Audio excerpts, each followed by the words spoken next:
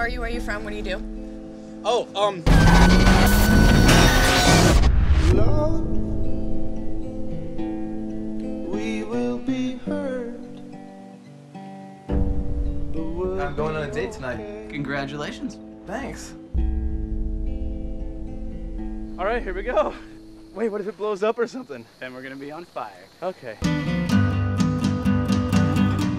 This is nice.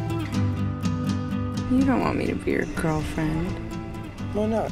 because I'll hurt you. Oh, how do you know I won't end up hurting you? I doubt it. I'm pretty tough, you know.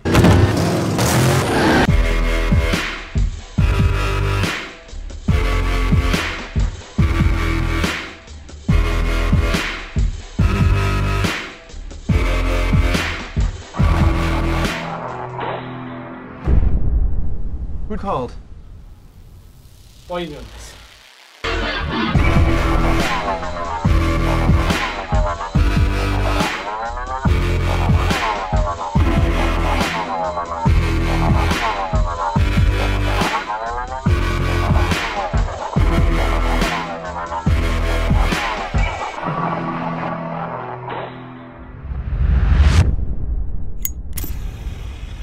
Mm-hmm.